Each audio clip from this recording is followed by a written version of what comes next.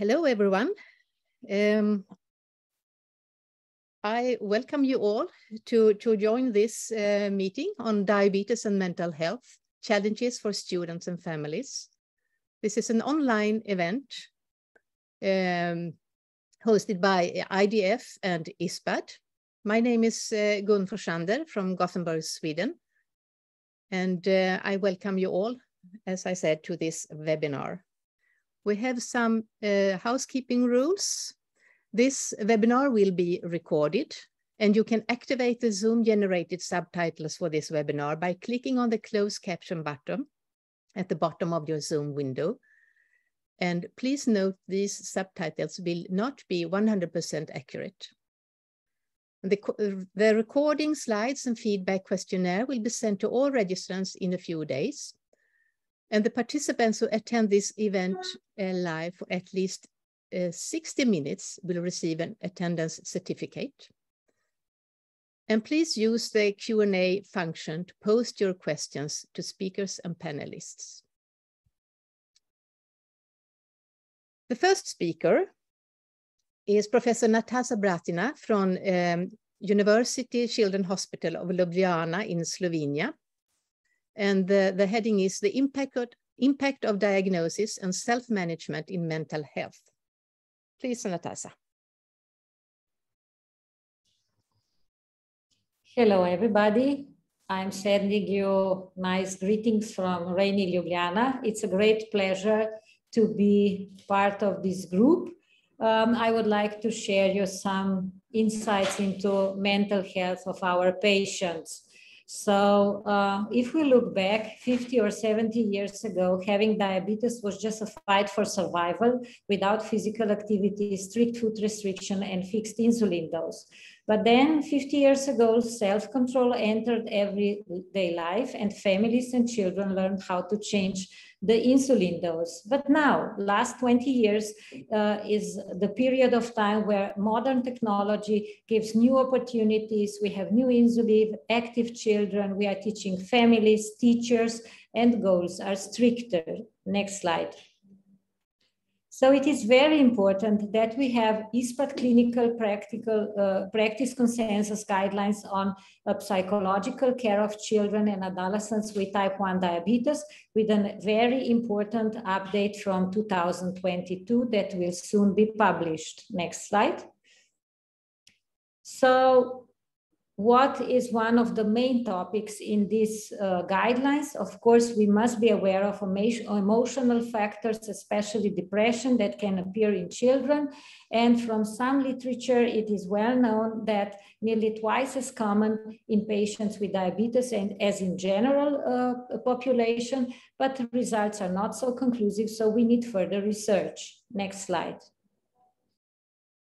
What is important that usually after diagnosis, everything is focused on stabilization of the blood glucoses. And we want to find the best insulin regimen for the child. We want to know how to measure blood glucose. And of course, it's also time for the educational support when psychologists meets the family, as well as uh, discussions with dietitians, doctors, and other members of the team find place. Next slide. So what our parents usually asking is, what is the best for my child? And we can discuss time in range, average blood glucose, HbA1c. Some parents even want to go stricter and want explanations why. But how do we approach the child? Where are his or her feelings? Next. Child is usually asking, why me? Because suddenly he's in the middle of living with a chronic disease. Next.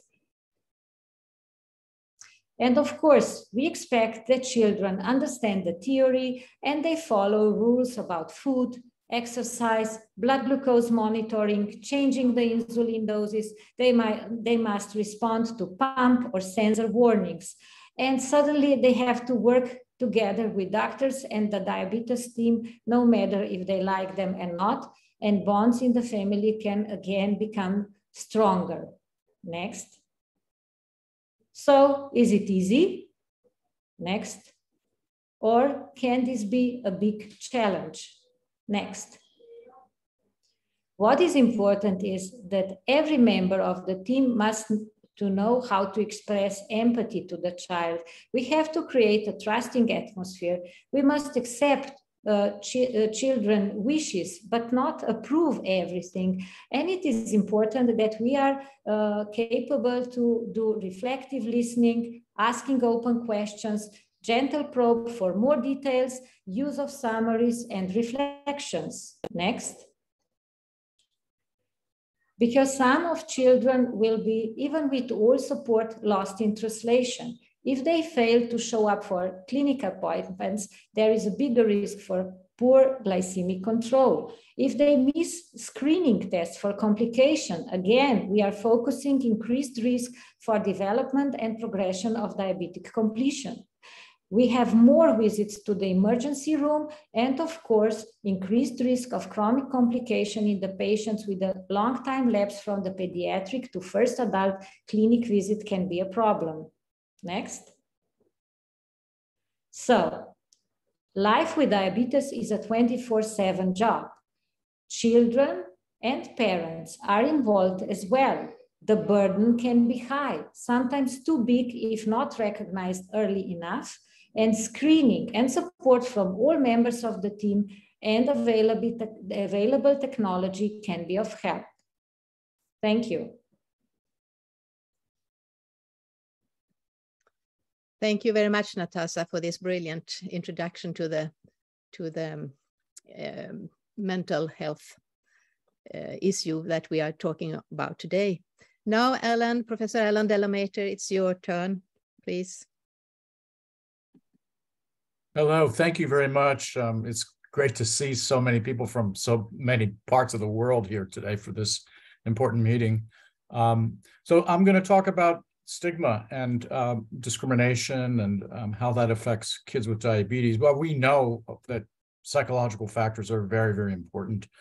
Um, kids with diabetes have high rates of psychological disorders such as depression, anxiety, disordered eating patterns, but we also know that diabetes distress is very, very common. And it's important to note the difference between distress and psychological disorders, things that we diagnose. Um, diabetes distress is not a, a psychological disorder per se, is not a diagnosis that we give, but it is a common phenomenon. All of these factors can interfere and usually do interfere with successful diabetes management and have an adverse impact on quality of life. Next slide, please. The other thing that's really important is family factors. Um, and again, we have a decades worth of research that has shown this to be a fact. Family conflict is associated with decreased regimen adherence, um, suboptimal glycemic control. We know that supportive parental behaviors, clear communication, share responsibility, monitoring their children's self-management behaviors, having structured routines in the families, supporting the autonomy of the child when the child is responsible enough to have that. All of these factors are associated with better adherence, better glycemic control. Next, please. When we talk about kids, we're also talking about their peers. Um, in adolescence, in particular, the major developmental issues that they face are achieving peer group identity, being accepted by their friends, developing their social skills, their social relationships, and mainly to, to be able to fit in, to not feel different. Um, we all get by with a little help from our friends. Uh, there is actually a, a, literature and the research on peers and diabetes. And back, um, going back to 1995, one of my friends and colleagues in the field, Annette LaGreca, uh, published a study that looked at the ways in which kids felt peer and family support was uh, impacting their diabetes. And, and, and in fact, kids with diabetes did note that friends, their friends provide a lot of emotional support for them as they go through the day with managing diabetes. Um, now, a review was, was published in 2012 uh, by Helgeson and colleagues, and it showed that qualitative studies uh, reveal that teens believe their peers have an, an impact on their diabetes self-management, but the more quantitative studies were less conclusive. However, we know that there's more evidence that social conflict was harmful, um, and, and and more so than social support was helpful. Um, very recently, Helgeson and her colleagues uh, published another study. This was a longitudinal study uh, with a fairly large group of kids with diabetes that were enrolled around age 10 and 11, followed for 11 years, and compared with a control group of kids without diabetes. These studies showed that uh, males, some, some sex differences, so that males with diabetes reported less friends, support, and companionship. Females with diabetes reported less friends, support, and more romantic conflict in their relationships. And these results suggest that kids with diabetes do have some challenges in terms of their social development and their peer relationships. Next slide. So this brings us to the issue of stigma. Stigma is a negative social judgment that leads to unwarranted rejection or exclusion. And it is often related to visible features of a disease or its management that makes one feel and look different. So it is characterized by labeling or negative stereotyping, kind of the us versus them attitude. And for the patient could be a loss of status or, and even discrimination. Stigma may be experienced, so, or in which case it's actually happening that people are uh, behaving towards them in ways that um, lead to rejection. Uh, or it just may be perceived, which means basically that the patient can have a self stigmatization, an internalization, and even an acceptance of the stigma. Next, please. So, what do we know about stigma in diabetes? Uh, there actually is not a huge literature on this topic, but there are some studies. Um, there was a qualitative study done uh, recently, well, five years ago or so, uh, four years ago in Puerto Rico, uh, and it indicated that of 65 kids, two thirds of them reported diabetes related stigma. And in this study, they identified um, social stigma, which is what others do to them, as well as internalized stigma, the perception that kids feel different. And an example of the social stigma where a child who was taking injections was told by their peers, they, they call me a junkie, or the kid is saying they call me a junkie because I'm using an, an injection needle. or the internalized stigma example. At times, I don't even feel the same as others. To the degree that kids experience stigma, diabetes related stigma, they also reported depressive symptoms. And where did this come from? The social stigma came from their peers. Next. And this study um, was done in, the next study was done in Canada in, again, in 2018. Uh, it was a web-based survey that uh, that that got kids from all over the country to participate. So 380 kids with type 1 diabetes and young adults up to age 24 reported on diabetes related stigma defined by three factors. One is avoiding diabetes management when, when friends are present, difficulty telling peers about their diagnosis, or embarrassment engaging in diabetes self care when others are present. The prevalence of diabetes related stigma in this study, 380 kids, was two thirds, 65.5%. And really important finding, I think, diabetes related stigma was associated with increased risks for suboptimal metabolic control. So there were three times the risk of kids who experienced stigma uh, for having A1C greater than 9% or 75 millimolars. 1.86 times the risk for severe hypoglycemia requiring intervention. And in this study, it's important to note the patients themselves who participated in the survey also provided a sample of blood that was analyzed for A1C at a central laboratory. So I think we could we could say um, that these results are reliable. Next, please. And jumping to another country, uh, this study Helen, was done. Helen, I'm sorry to interrupt you, but you have to come to the conclusion. Okay, I'm coming. I, I've got another slide or two. Um, this study we've done in Turkey uh, basically looks the same sort of thing, but examines stigma as a predictor of negative perceptions about insulin treatment. And that's exactly what they found. Uh, fear of stigmatization, not informing their peers, and preferring to inject alone all associated with negative attitudes about insulin treatment. Next slide. Uh, and I'll finally just mention before concluding uh, the topic of bullying. Uh, this was um, uh, uh, published very recently uh, in 2019, a review paper. And actually, there are only four papers published in the last 20 years or so that were met the criteria for inclusion. All of these showed high rates of victimization that kids with diabetes experience compared with healthy peers or other kids with chronic illness. Two of these studies done by the same team, Storch and colleagues, found associations between bullying and suboptimal uh, glycemic control. Um, so clearly, you know, there are challenges with stigmatization, socialization, social support, and diabetes management in public environments. And in conclusion, next slide. Uh, diabetes distress and stigmatization concerns are significant issues for kids with diabetes. These concerns are really highly prevalent and are associated with suboptimal diabetes management as well as psychological adjustment. Uh, kids need to feel that they have an identity which is not subject to stigmatization. Healthcare teams, I think, really need to assess routinely kids' social adjustments, the potential for diabetes related stigma and bullying, um, and diabetes management in public settings. And we don't know about this unless we ask it. So uh, it may occur and may be the kid experiencing it, but if we don't ask, we're not going to know. And if we want to promote psychosocial adjustment, quality of life, and optimal diabetes management, I think as teams, we really need to attend to these issues and promote social support for young people with diabetes. Thanks.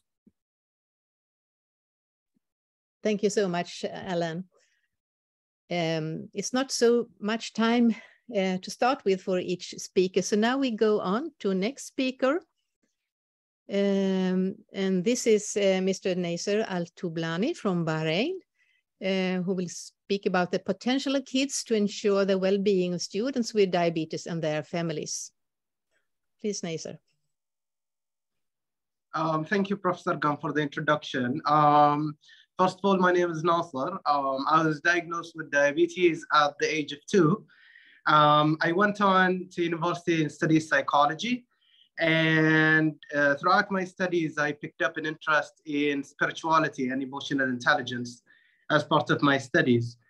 Um, after that, I went on to do my own research, and I'm uh, in the process of publishing my first research paper on the role of spirituality and emotional intelligence in self-management in diabetes. I'm also a high school psychology teacher.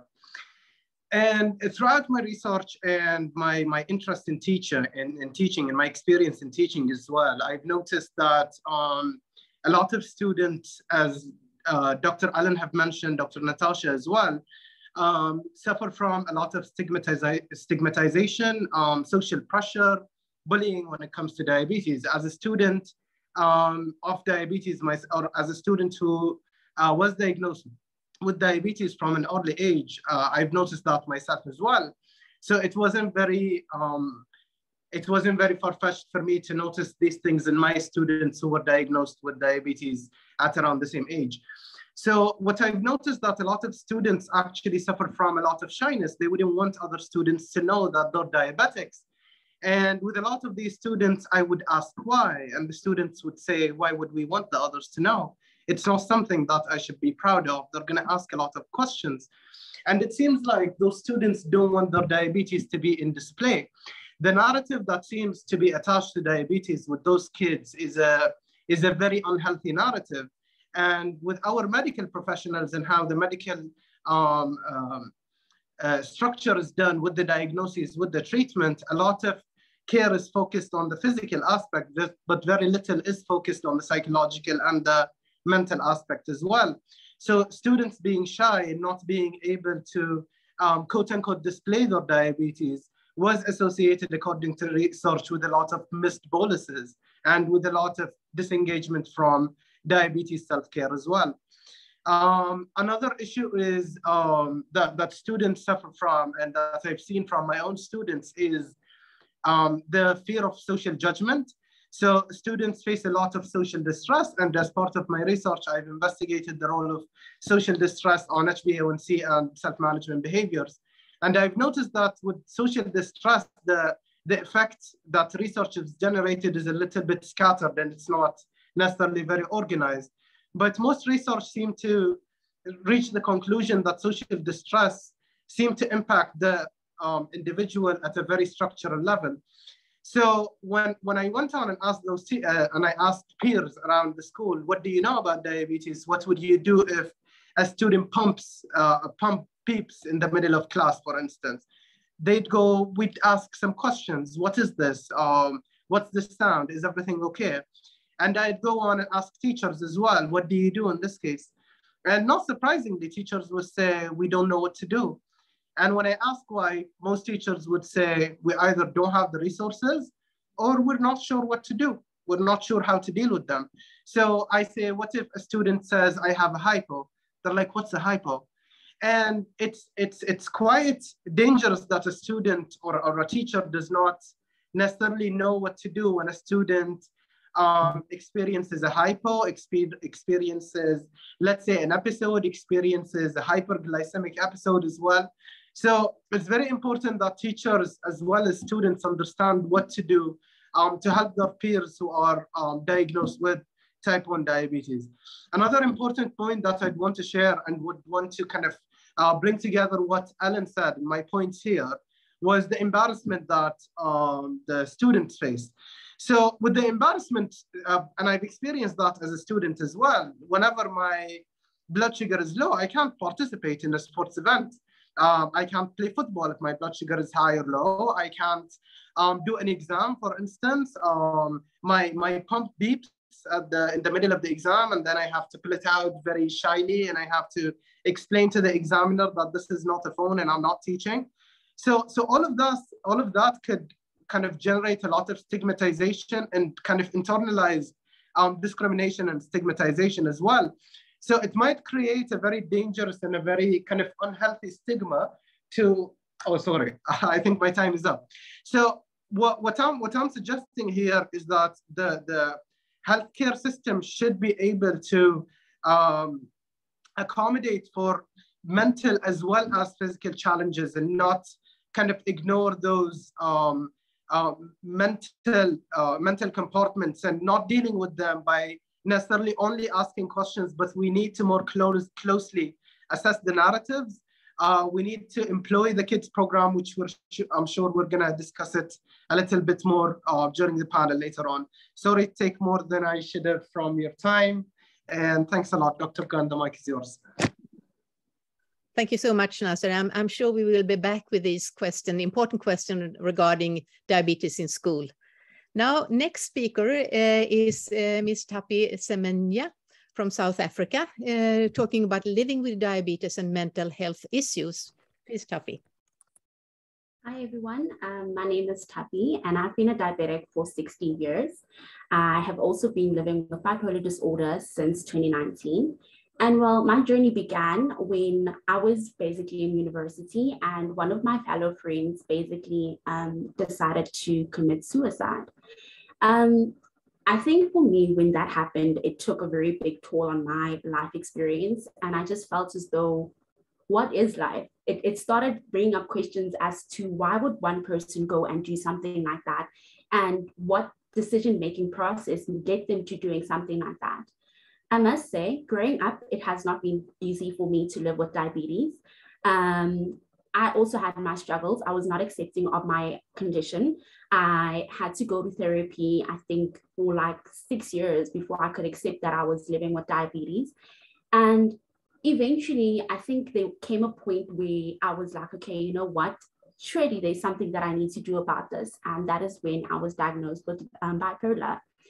I must say, it's not easy. Um, I always say to people that living with bipolar and living with diabetes is something terrible. I, I don't wish it upon anybody because, firstly, to live with diabetes, you need to be able to have be in a great state of mind. And not being in a state of mind that is kind of like conflicting can also cause a lot of problems for you. Um, my takeaway message in my experience living with diabetes and living with bipolar is that we need to be more empathetic towards one another. We need to hear each other out. Every day is not the same. And, you know, when waking up each and every day and telling yourself, and, you know, I'm going to do this, and something along the day just doesn't go your way, it can also have a huge impact in your life. I need for me, I think even the biggest thing is support from your family, support from your people, the people living around you.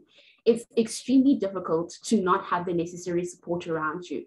And bipolar is an ongoing thing, and it's something that has so many struggles. I can tell you, I've had so many times when I had decided not to take my pills anymore. I was like, I can do this by myself. And I had to go back. So, empathy, the stigma, everything else it, it shouldn't really play such an important matter. You need to take care of yourself and feed into your soul.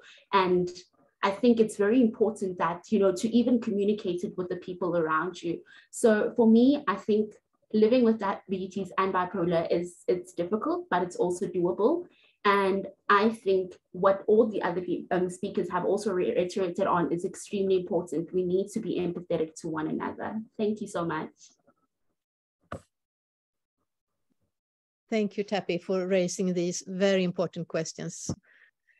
Uh, next speaker will be uh, Ms. Lucila Gomes from Brazil. Um, she is an IDF Blue Circle Voices member and mother of a child living with type 1 diabetes. And you will talk, Lucila, about the impact of diabetes in the mental health of the extended family.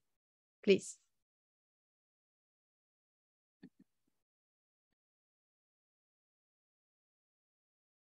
Hello, Hello. Hello, we can hear uh, you. Uh, yes, hello, can you hear me? Yes. Hi. Uh, so I am a mother of um, a child with type 1 diabetes. My daughter was diagnosed when she was three years old, and now she's 19. And we we were expat family, so we lived abroad for almost all life. So my we lived in different countries, and it was very very hard to moved around, to be moving around for every four years and with a type 1 kid. And one of the most impact things that happened to us was is that we had to change schools with my daughter. And I, I felt that I always had to have my phone with me all the time because I never knew when the school was going to call me. We had different teachers all the time. And one of the things that happened is that the school was calling me all the time because something happened and nobody wants, wanted to take care of her. She was very young and no one wants to have like the, the burden to take care of type 1 kid with diabetes. Once, one of the things that happened once is that we just began a new school and we had, we had just moved to Abu Dhabi. It was a new country, new school. And they called me in the middle of the day and they said, "Oh, your daughter is not feeling well, and she has a, a low blood sugar." I said, "Oh, that's fine. There is food in the nurse with the nurse. I always have like tons of food with the nurse." And they just said, "Oh, but we are not at school." I said, "How? How? We are not at school?" No, we decided to, to do PE outside of school. So I had to drive to a place that I didn't have any idea what it was. My daughter has a 25 uh, blood sugar on the time. I had to drive like crazy in a city that I did I, I couldn't I didn't know where she was. So as a family, the diabetes impact a lot. I had to stop working and I was privileged because I could not work. And I always think about other families that the, the parents have to work. There was another family in Abu Dhabi that the mom was always sitting down on that coach waiting for her daughter because she said, I just don't leave school because it's just easy for me to stay sitting and waiting for my daughter. Uh, because of that, I decided to organize a support group. So I organized a support group in Abu Dhabi, and it was one of the best things that I did. I feel that uh, peer support is one of the most important things that can help the kids with diabetes and the families. I got a lot of support from my friends there are parents for, with kids with diabetes. And I had friends with diabetes, parents of kids with diabetes and grown-ups with diabetes that could help me as well to understand better the, the condition. So this is really, really important. I began to send my daughter to camp because she needed to get to know other kids with diabetes as well. And this makes a lot of difference as well for her. So I feel that it's really, really important for the kids to get to know other kids with the same condition. This built up a lot of strength with them.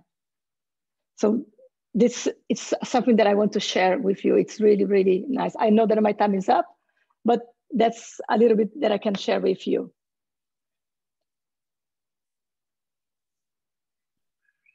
Thank you so very much. Um, I can mention that that ISPAD just launched a new special interest group for diabetes in school.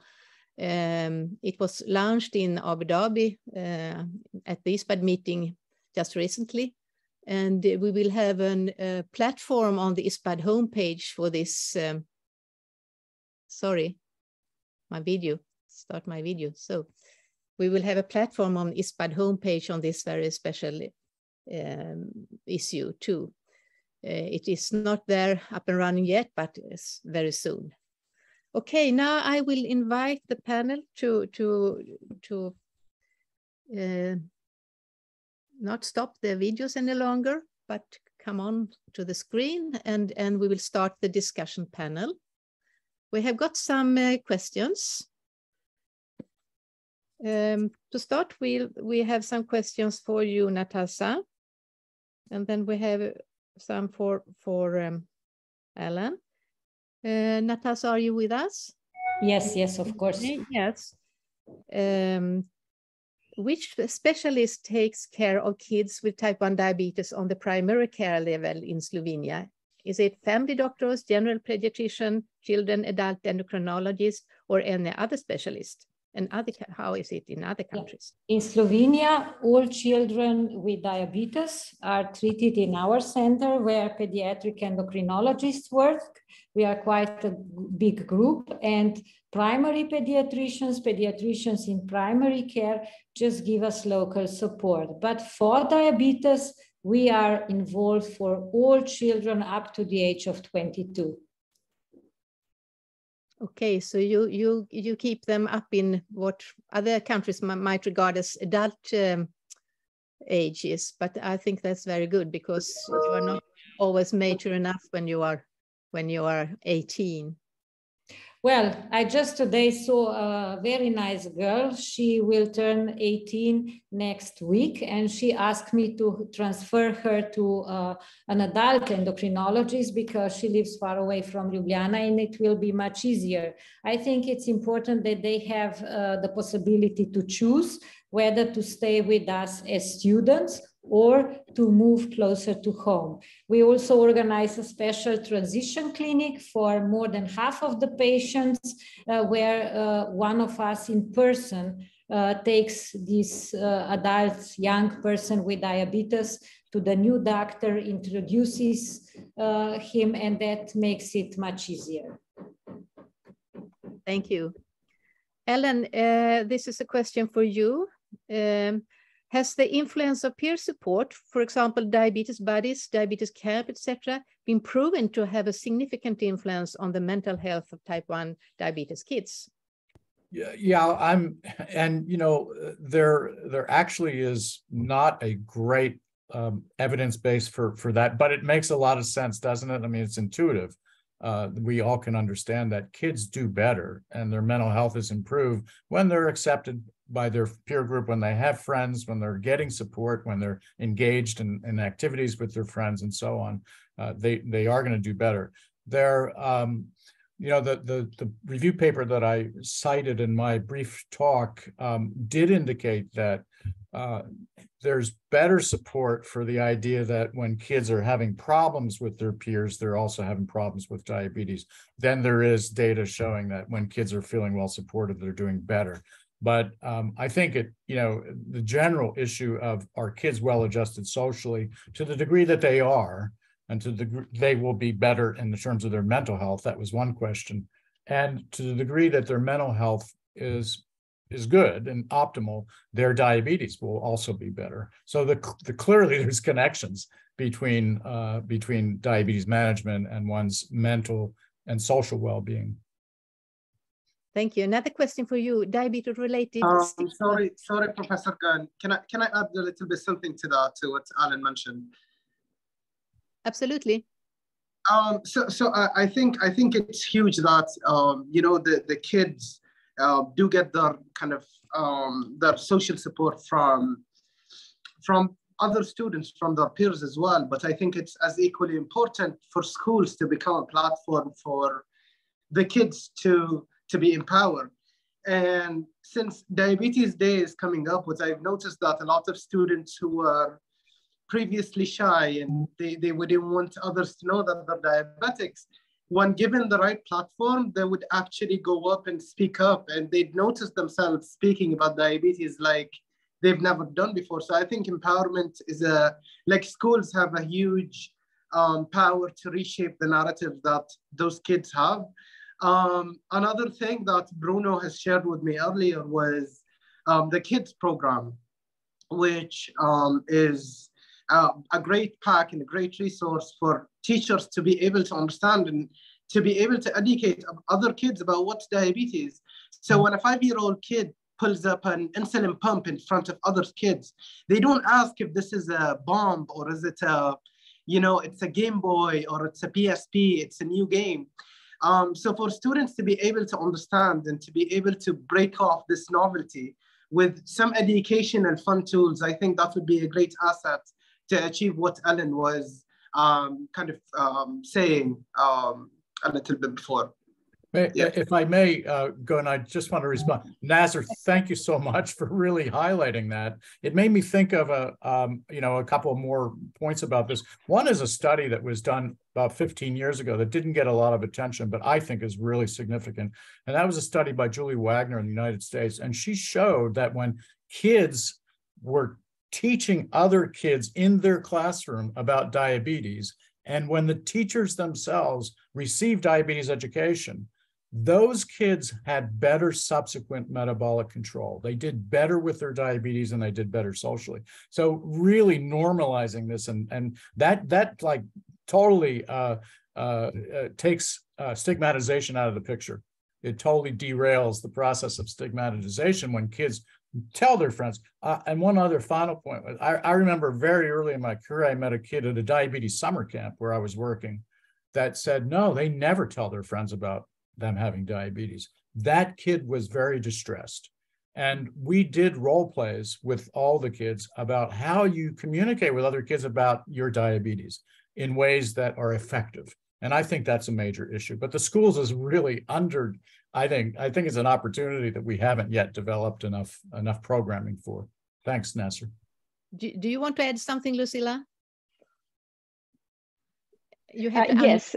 Yeah. Yes, exactly. Uh, what I saw uh, where my daughter went to school, there are there are there are a few kids with diabetes, and what what I noticed was exactly that. The kids that used to use the pump in the middle of the belly showing up were the kids that didn't have any problems with bullying or other things, but the kids that used to hide the pumps were exactly the kids that used to be bullied about it, and it was really really interesting to see that and like my daughter used to say to all her friends and to everybody, I am uh, half, uh, she was really funny about it. She used to say, I, I, am like a half robot because I don't have a pancreas. I have like this thing and this works for me. So I am uh, like, I'm, I, I, I have like a, I am a robot. So, and those, everybody was like, really? Yes, I am so special because I have something that you don't have. And she was never, never bullied about it. But there are other kids that used to say, oh, I don't want to show my pump to everyone. And these kids were so picky about it. And, and it was really, really interesting. And I was asking her, why do you want to show your pump? She said, I need to. I need to show my pump because nobody will pick on me because of my pump. Nobody will pick on me because of my sensor. And it was really interesting the way that she realized the more she showed it up, the less she'll be bullied about it. Smart girl.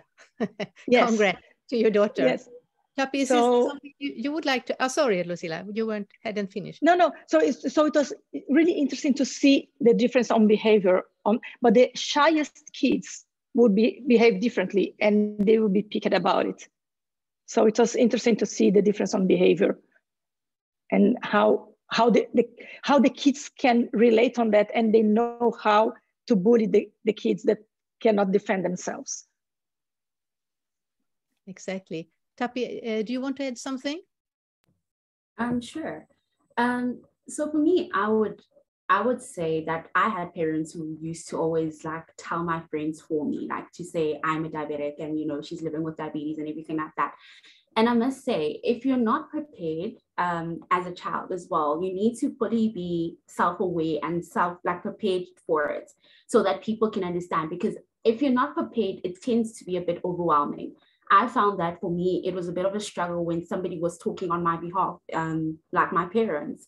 But when I was finally prepared, it was more of a step where I could just be like, okay, I am diabetic and this is me. And I would find it much more easier to explain it myself to my friends. And it made me feel, I felt empowered by it. Whereas when my parents are speaking about it, I just kind of felt like, you know, they just want people to know. So you need to sometimes allow your child or like yourself as living with diabetes as a child to get like to kind of prepare yourself for it. Thank you. Thank you. We have another question, um, originally for Alan, but I think it's for all of, of you in the panel too. Uh, diabetes-related stress and poor control. What, what came first, chicken and egg? It could be poor control and so a perception of stigma. What do you think about this? Should you start perhaps, Alan? Um, yeah, um, you know, kids, uh, I, I think that that's a good question, first of all. Um, you know, the chicken and the egg type of question. We're looking at associations, but we do have data that shows that if you intervene directly on stress, and teach give kids the resources the, the abilities and the skills to manage their stress more effectively that their subsequent glycemic control can improve so this would argue for you know uh, a, a, direct role of reduct stress reduction on improved glycemic control um, I, I think that there are all the other associations we know about stress and and suboptimal glycemic control uh, is correlational uh, so in that case, we can't say what caused what. But uh, because there is evidence on both sides, actually, I mean, if if people are stressed and feeling depressed and anxious and so on, their physiology is is different in a way that could promote hyperglycemia. Um, and um, it's you know it's it's a it's a good question, but clinically, when we see kids that are distressed, and that distress can come from lots of different places. Today, our focus is on uh, peer relationships that lead to stigmatic stigmatization and um, bullying and victimization. That increases stress certainly, and and the effect of that we could model it out and try to figure out what what goes awry. Well, kids may not want to perform diabetes management in public in front of their friends, so there is a mechanism for behavioral uh, influences on glycemic control through not effective management of, of uh, diabetes. Uh, I think that's some of the more compelling data actually in the, in the stigma literature that shows that kids who don't want to talk about their diabetes, don't want to have their equipment visible, and don't want to take insulin in front of others are kids who end up with worse control. And again, that larger study from Canada was um, uh, almost 400 kids in that study. That's still associational data, correlational data, but it kind of makes sense if you think about how that might play out.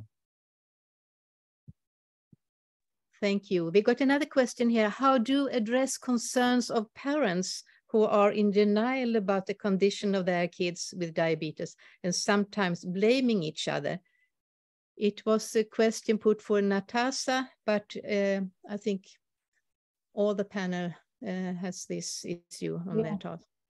Yes, this can be this can be a big pro problem in Slovenia. Perhaps not that big, but we know patients from um, let's say Kosovo, and there it's it's really um, diabetes is a disease that that that must be hidden from others because if people know that a child has diabetes uh, then he cannot uh, get a job or be married. So we had patients who were coming from Kosovo to Slovenia for outpatient clinic visits. So, um, of course, parents sometimes blame themselves, especially if they are having type 1 diabetes as well. So, in both cases, I think it's a step by step procedure, uh, trying to find out why they are hiding diabetes in front of uh, their neighbors or friends or, or even sometimes uh, their relatives. I also knew a very young girl from Slovenia uh, where her partner uh, didn't allow her to tell anybody that she has diabetes. Uh, she was not allowed to inject insulin in front of uh, his family. So it can be really a big burden uh, for a young person with diabetes. So um, usually we work together with our psychologist as a team, uh, discuss and try to find solutions step by step. Uh, so it's it it we cannot give a prescription how to resolve this problem.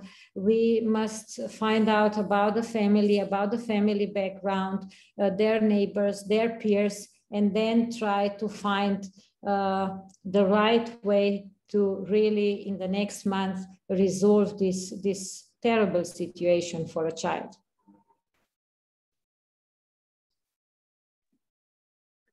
Thank you. Is anyone else in the panel willing to, to say something on this issue? Well,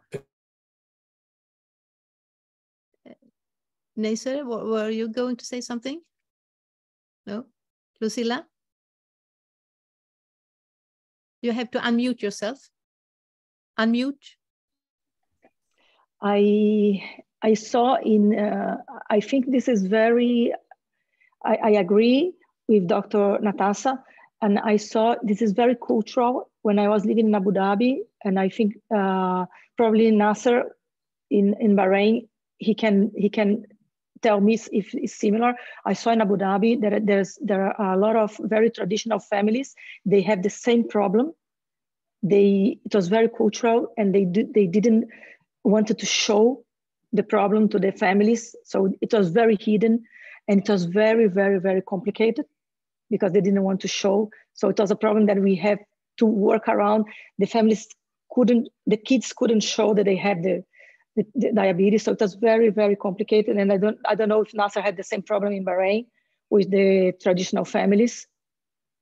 Probably Nasser can oh. tell something about it. Yeah, yeah. I, I, I actually found it. Um, I, I wouldn't say it was easy, but but I think be, being in a part of a collectivistic um, society, if you'd want to call it that, um, has helped to an extent. Um, being a diabetic since the age of two, and now I'm what 23. I've never been, you know, it kind of never felt very lonely, you know, and with with diabetes it's a very lonely disease because you know everyone around you gets to do whatever they want you know and they just assume you're okay because physically you look fine you know and there is nothing majorly wrong with you but with with being part of this i'd say type of culture we've always had a very maternal and a paternal um, caregiver, you know, type of culture. Um, the nurses, the medical staff, other diabetics,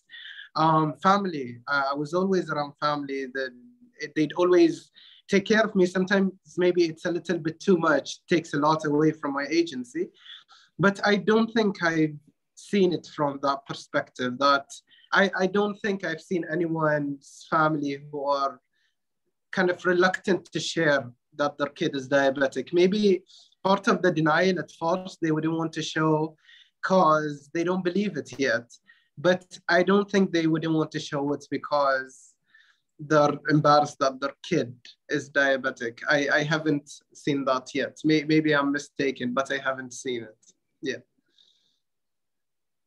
Yeah. Um, Nasser, you have got another question from you. Uh, you have part, partly uh, answered it uh, so far, but from your perspective as a teacher and person living with diabetes, how can school staff be better prepared to ensure the well-being of students living with diabetes? Yeah, so, I think I touched upon this earlier, and I'm um, nowhere near an expert here, but from I, I, can tell from my own experience as a teacher and a diabetic, um, I, I, think a huge part of living well as a diabetic is living um, well as part of a healthy culture. If you live in, in, a, in a healthy culture in terms of diabetes, it can contribute a lot to your mental health. And what I mean by that is the culture one has to understand what diabetes is, what does it entail, and third, what the consequences of diabetes are to both your mental and physical health. Um, so a, a, huge part of my interventions, whatever I did uh, with diabetes, with individuals living with diabetes in school last year and the year before, was empowerment, Diabetes Day. Um, it created a lot of normalization for the culture of diabetes. Kids were uh, went up and spoke about, you know, and then look at my sensor, here it is, and look at my pump site, and um, this is what I do, this is what I can eat. This is, you say I can't eat, but I can eat it if I regulate my blood sugar, blah, blah, blah. And when those kids get some agency about what narrative they want the other kids to know, I think it creates uh, a very um, healthy schema for them. Um, another part of it is definitely educating the adults, not, not just the kids. If the adults are educated, the parents, um, if the teachers, the administrators are educated, the kids won't mind. So whatever is normalized within the school staff is normalized for the kids as well.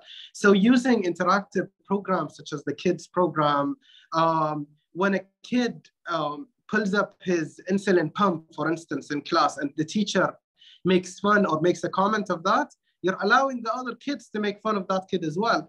So it's establishing the culture within the school as well as part of the activities, celebrating having a day for diabetes, November 14th or whatever day you want to put on the calendar, I think is very important for um, creating the culture and ensuring the well-being of kids with diabetes in schools. Um, yeah, I hope that answers the question. Yeah, thank you so much. A topic question for you here. Have you ever felt discriminated against by the school staff? Um, no, I haven't. I think uh, where I went to school, it was very much a small community, and they always made sure that I was always supported in my journey and always made to feel at home, whether I was, you know, having diabetes or whether it was bipolar or any other condition that I had. That's great to hear, actually. Um, we have got a, a question here. Um, as a specialist of diabetes and ADHD, the talks should not mismention a genetic overlap of diabetes type 1 and ADHD we should screen for ADHD when problems in diabetes control occur or last for a longer time, especially in adolescents. What do you think about that, Nataša? Well, uh, thank you. This is a very interesting question. We did a study, this is now, I believe, five years ago, where we invited a group of more than 100 children uh, to uh, resolve a special questionnaire together with their parents. And among this group, we found a 10% group uh, who uh, where ADHD was confirmed, confirmed. And those were children with worse metabolic control.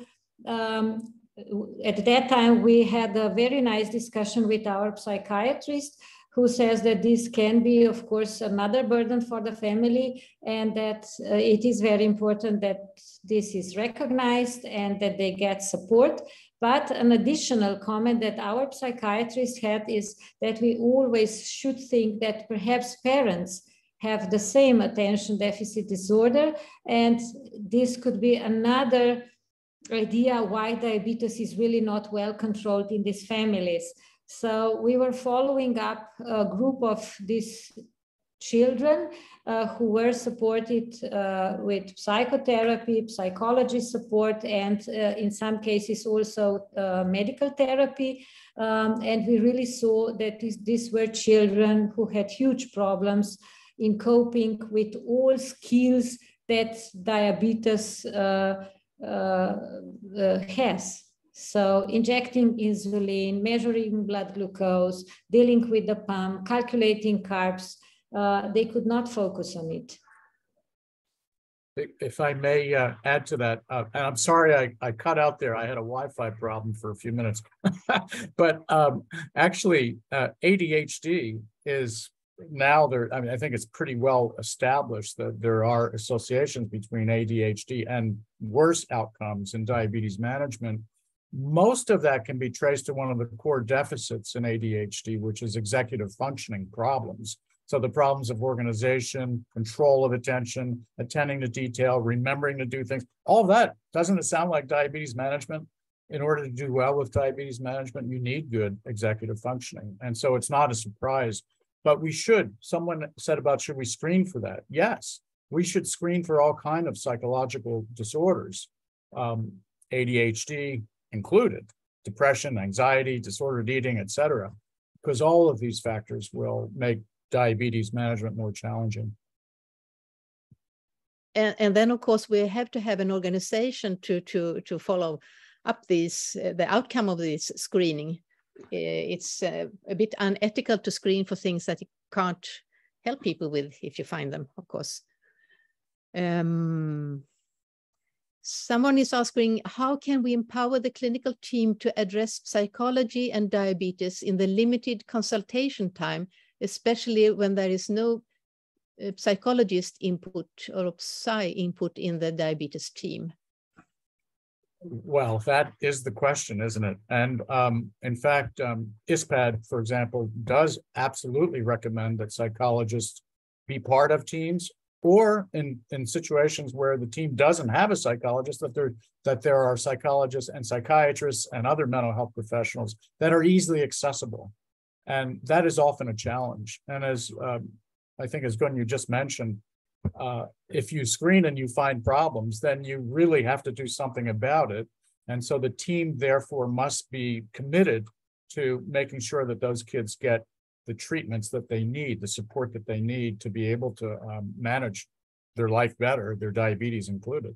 Uh, but unfortunately, what we know is that when kids are referred for psychological treatment, most of them don't make it to the psychologist, the psychiatrist, and whoever else.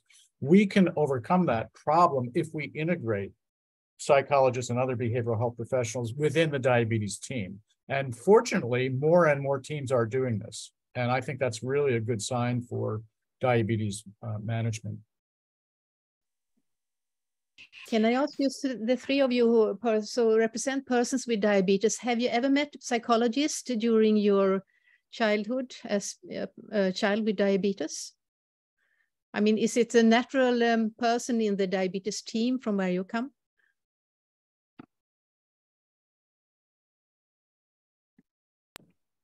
Um, yeah, um, for, for me, no, that, that was never the case. Um, I, have never met, it, it was never part of the diabetes, diabetes team.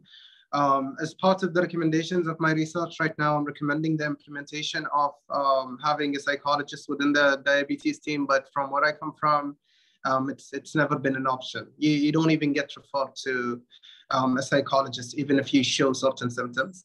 Um, unless the doctor can see them very clearly, then they'd refer you to a psychiatrist. Yeah. Um, for me, it was part of my my team. Um, that was due to the fact that I was already struggling with my diabetes at a young age, and it was something that they had diagnosed very um, quickly. So it was prescribed to me at a very young age. What about you, Lucilla, and your daughter? Did you were you offered to to to see a psychologist as a natural thing in the diabetes team? No, no, for Anna, she never had uh, a, uh, a, psychologist. So we never saw, she just had an endocrinologist, was the only doctor that she always had. So she, we never had any, unfortunately, because I thought it was going to be very good for her and for me, but we never had any.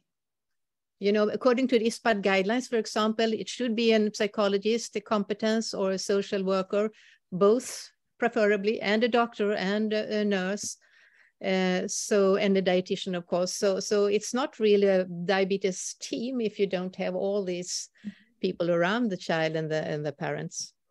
Yes if i can if i can add something also in Slovenia, when I started to work, okay, this is long ago, but we had a psychologist who uh, was sharing four times, four hours a week with our children, but she never had time. So we were actually also without a psychologist. And then 20 years ago, we managed with the help uh, from our Society for Children with Diabetes uh, to engage a psychologist at the beginning for two days in a week, but then finally the hospital employed this young uh, psychologist. And then we really started, this is now really more than 20 years, with a very good uh, psychological support program. For us, it is really a must, as I hope in most of the centers, that psychologist approaches the family immediately after diagnosis, and then we offer regular psychological support. Uh, I quite frequently work as a team with our psychologists. So we sit with the family together and discuss different topics that are uh, becoming an increasing problem and of course, we are also doing the screening, uh, the yearly screening for emotional disorders, burden of diabetes, and so on. But the start what was not easy, and with the help of our society, I don't know if we would manage to, to, to get a member, uh, to get a psychologist as a member of the team. I think it's a real, it's really a challenge. Um, I saw in the chat someone from Australia said that you know parents are desperate to find more psychologists to help with their kids, and there aren't enough of them that are involved in diabetes care, and all of that is true. So I mean, it, it really is a matter of, I think, advocacy um, and who we, we who do we advocate to? We have to advocate to uh, to to national organizations and insurance companies and funders, and it's really political will in, in a lot of ways too to to make sure that that because we do know. I mean, it is as far as I'm concerned, is conclusive that uh, psychological factors must be addressed as part of the co- comprehensive care of children with diabetes. It's not even a question anymore. Um, and the question, but the question is how we how we do it. And one final point, just real quick, is that because uh, Nataša, you mentioned about even from the time of diagnosis, that incorporating the psychologist as part of the treatment team is so essential because then it's not it's it's normal. It's just part of another team member that you see. It's not, you don't have to be really nuts to go see the psychologist. And in fact, if we wait that long, then the psychologist is going to be just using all their time to spend a few kids, spend time with a few kids who have serious problems. On the other hand, if we build psychological principles into disease management from early on as part of clinic visits routinely, then we can prevent a lot of these problems in the first place. And there are studies that actually show that to be the case. When you integrate uh, uh, psychological uh, management into routine clinic visits, kids do better with their diabetes management. So there it is. We just have to figure out how to do it. Yeah, thank you. And we have a question. What are the scientific standardized assessment tools for diabetes for social or psychosocial, psychological issues? Uh, well, I'll, I'll take that one real quick. I mean, there, there are a number of standardized measures that could be used for screening. And we, we published a paper, I think, in pediatric diabetes in 21 about our comprehensive screening program that we use in Miami. Um, so these are brief measures that can be done. Our screening protocol takes takes kids on average 10 minutes or 12 minutes to complete prior to their clinic visit. Um, and uh, these, though, are only screeners. So what that means is that in order to really assess social adjustment and the psychological functioning, if a kid screens positive, then there are more um, in-depth uh, tools that that the psychologist or other professional would use to really figure out what's going on. So the screening only gives you an indicator. Oh yes, it looks like there could be a problem here, and that requires further assessment. So, I mean, there are quite a few uh, reliable, valid uh, tools that we have available to measure.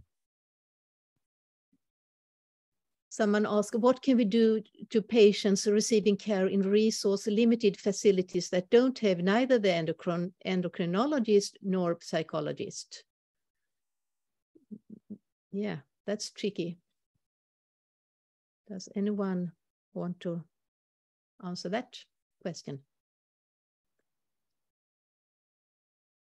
Nataša, are you? Yeah, this is this is really a tough question.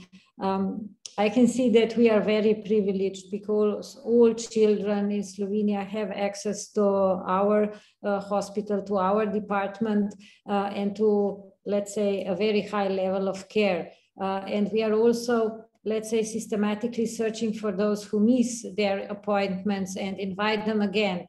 But of course, there are many countries where such access is not uh, available.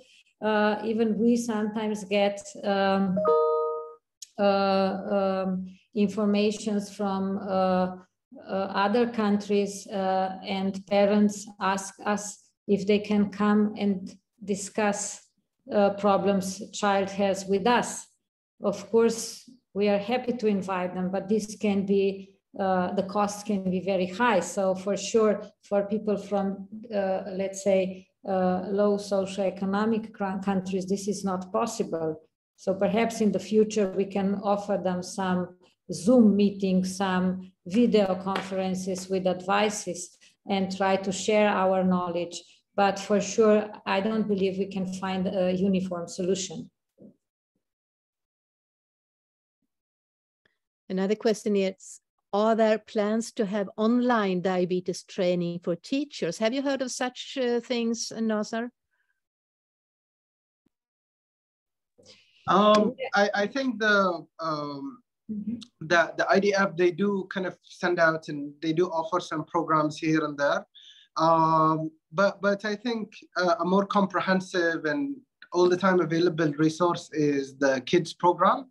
Um, so so I'm I'm gonna go on and recommend it again. I know I've suggested it a couple of times, but all questions seem to feed back into the same the same point of advocacy when it comes to kids and teachers, I think it's a, it's a very entertaining way for kids to know about diabetes and for teachers to teach themselves and to teach their students about diabetes as well. So I think it can have the impact that this question is looking for.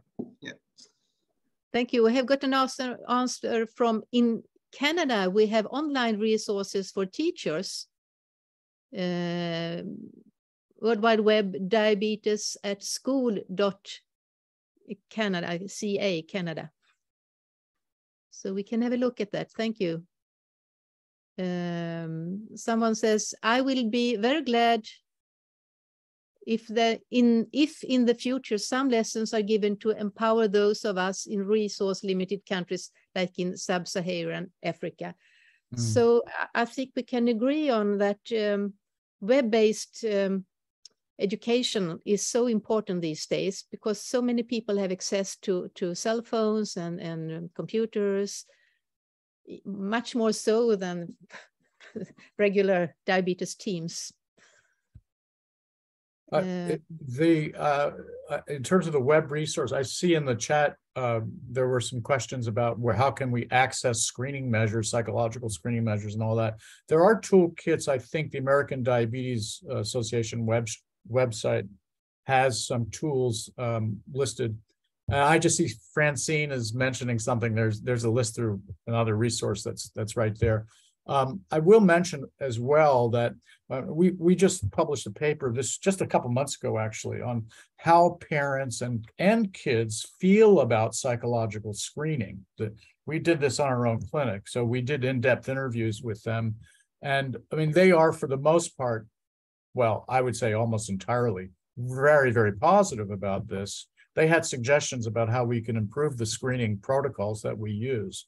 But one of the issues that the that one of the that several of the mothers raised was when we go to see a psychologist, if we've been referred to a psychologist in the community, not as part of our team, but in the community outside of the clinic, she says it's so frustrating because they don't know about diabetes.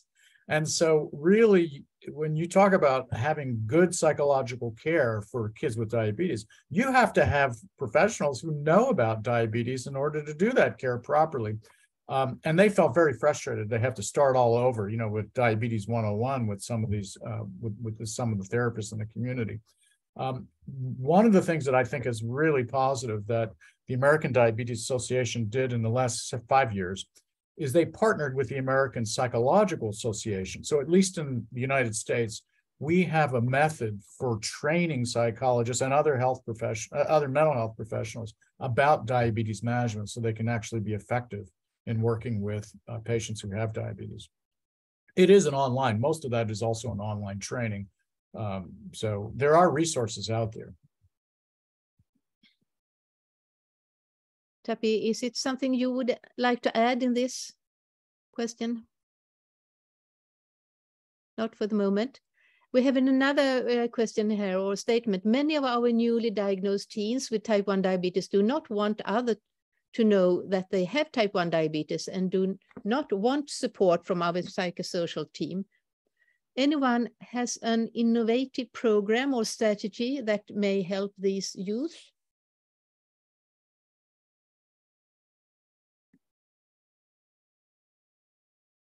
Has it partly to do with denial and stigma, do you think? Again, no easy solution is there. Uh, all members with the, of the team uh, are invited to discuss this with the family uh, and all should focus on the same information, same support, encourage the child to explain himself in front, perhaps at the beginning, two or three peers, and then uh, more friends. Uh, if we just push them forward, you must do it. Uh, it's wise to do it. For sure, this is not a solution. But I think it is very important that the dietitian, nurse educators, doctors, psychologists all share the same information. As we heard before, if you cope with your diabetes, perhaps it will be easier among the, your friends because they will not ask you all the time or or let's say uh, there will be no uh, pressure oh you have drugs you inject yourself we know how children can be so um, I believe that everybody uh, in our group who works with children with diabetes meets this pro program uh, it can be quite frequent. Again, it depends on cultural background, on, on uh, environment where the child is living. Uh, but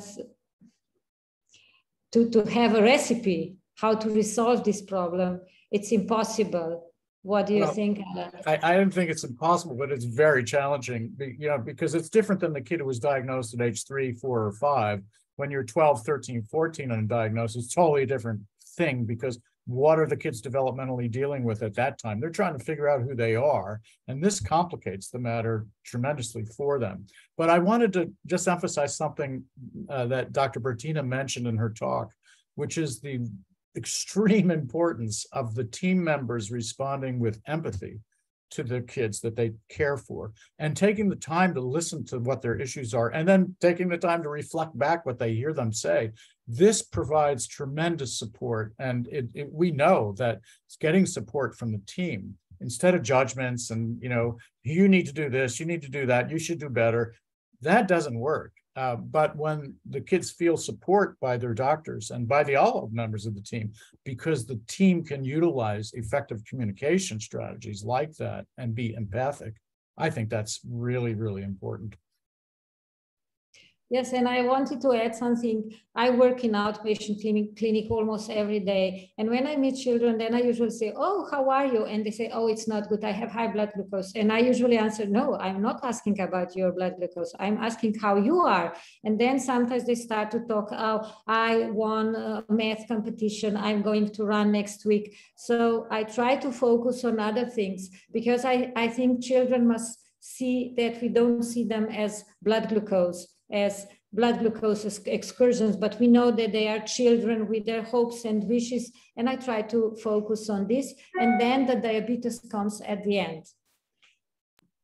Uh, I have to say, Dr. Nataša, honestly, I, I, I love your technique. Um, as a, as a diabetic, I see how, you know, that I think fits in very well to, to, to the needs of the patient as well. And I have to agree, I don't think there is a quick fix or there is an easy recipe to, to get over the denial. If a kid does not want to share, okay, that's completely fine. If a kid wants to hide their diabetes for a year, two, three, four, five, there, there is no timeline or a deadline to it. I think it's it's all about the schema, the, the narrative that the kid has around diabetes, about their own diagnosis. And I think forcing them to share or nudging them a piece too far might be very out of character for them. And the aftermath of that to their diabetes, to their own mental health might be catastrophic. So kind of kind of letting them go by their own pace, not you know, and seeing them beyond their diabetes is extremely important. Diabetics are not people with superpowers. We're just people, you know, and and it's fine. We make mistakes, and you know, you don't have a deadline to um, tell people about your insecurities and about the things that you don't want to share. Why do I have to have a deadline?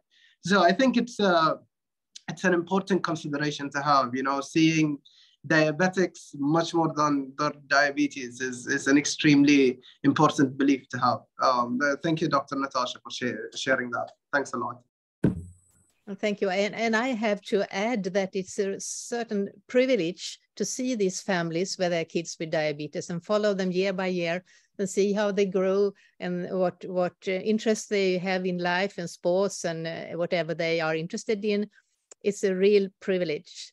And I think we have to, to accept that it must have take time. Uh, you should see them at least four times a year and you should have at least um, 45 minutes per, per meeting, uh, which is way too much in some countries, but I think it is needed really to, to have the chance to speak both with the child and with the parents and talk about and all the issues around the child, all the not issues, but well, what the child likes, how life is, etc., etc. It's not all about the blood glucose, of course. Just that's just one little part of the life of, of the child. Um, Dr. Dr. Gun, can I yes. add something? yes, I'd like to add about what Nasser and Dr. Nataša said. Uh, another thing about the importance of the support group of peer or peer groups, because it's not all about the blood glucose. It's sometimes it's important for the kid to see that it's uh, it's okay to, to do mistakes and to do it's not just sometimes when we have a peer group in my house I, I used to connect all the kids and kids and grown-ups with diabetes. We do like we did like a afternoon in my house and one day it was very very interesting. I have a friend with type 1 diabetes my age and we were having a coffee and my daughter she was around seven was with us. And my friend was telling me oh you cannot believe today i was moving and i completely forgot to take my insulin and my daughter was like her eyes was like this size and i was i just look at her and i was with my friend oh okay don't worry are you feeling okay now no i'm feeling okay i took my insulin three hours after i had a high glucose uh, high blood glucose and my daughter was like and I just looked at my daughter and said, You see, it's okay. It's okay to make mistakes because you are not you are not a superhero. You don't have to be perfect all the time. It, it's just okay. And my daughter was like, Andy she she does she does mistakes as well. Yes, and it's fine. It's no because my daughter was like she had to do to be super perfect, and I was like, you know, it's okay. You can make mistakes and if you forget, you just correct after and it's fine. So it's so good. Peer support, it's so good. It's I, I think it's just this just the most important thing that you can do because you see the other mistakes and you just see, I'm okay, I can do it, and it's fine. So it's it's really, really, really important when you are where other persons, other kids, and other grown-ups, and you just can share experience. And you realize that you're not alone. And it's I, I really, really feel that all the kids and grown-ups with diabetes, they need to have peer support. It's something that it's really, really important. Thank you. The sentence, you are not alone, I think is very essential. Um, I think you, all of you can read the, the chat. Is it any question that we haven't um, picked up yet? There's so, so many questions. Um, um, one, one existential question is, we have here an autoimmune disease with no real cure, existent for what feels like forever. Though technology is moving forward fast, I just don't see a cure on the horizon. I feel like this is not given enough attention globally. Yes, um, it's a burden, of course, to have a chronic disease that so far is not been able to cure. Um, Tapi, what do you say? You're dealing with these things. Where are you? I've lost you on the screen here. Do you hear me, Tapi? Um, I think she left. Um, no, here, I, here you oh. are, Tapi. back. She's back. I saw some. It's somewhere. Can you can you hear me, Tapu? Yeah, I Yeah. hear you.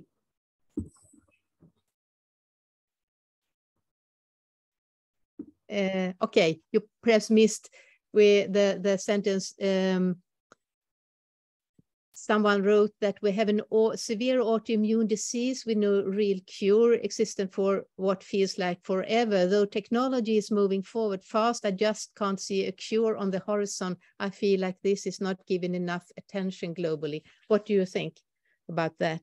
How could we do better? I mean, it is true. Um, I think we aren't paying attention to finding ways, especially, I mean, coming from an, a continent like Africa, there's not enough research being done in Africa. There's not enough funding, obviously, for the research. Um, and I must say, it is very difficult to keep that hope up to say, you know, we are expecting a, a cure or expecting a way to prevent, um, like getting conditions like diabetes or even like bipolar. But I must say, it is very important to just have that little bit of hope. Um, and I think for me, it has been very easy to do that because of advocacy and getting to connect with people around the world. So, you know, just keep the hope. It will come one day. Um, it's very little hope, but it can happen and it will happen as long as we just continue to believe so. And we mustn't forget that research has come very far. Just the last two, one or two decades, it has happened so many things in a positive direction.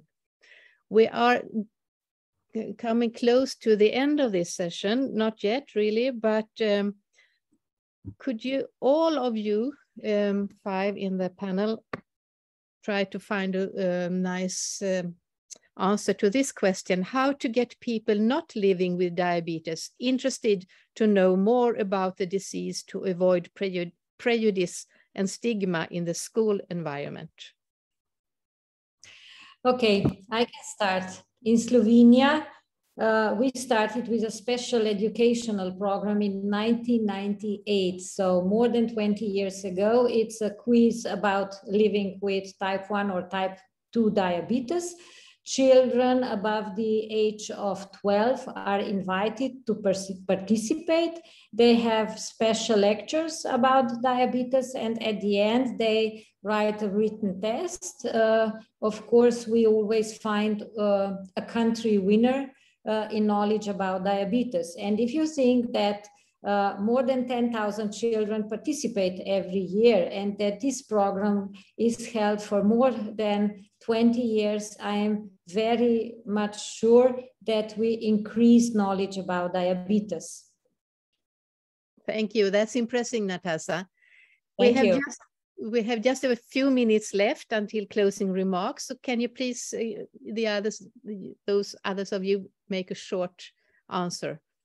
How can we make people not living with diabetes interested in diabetes?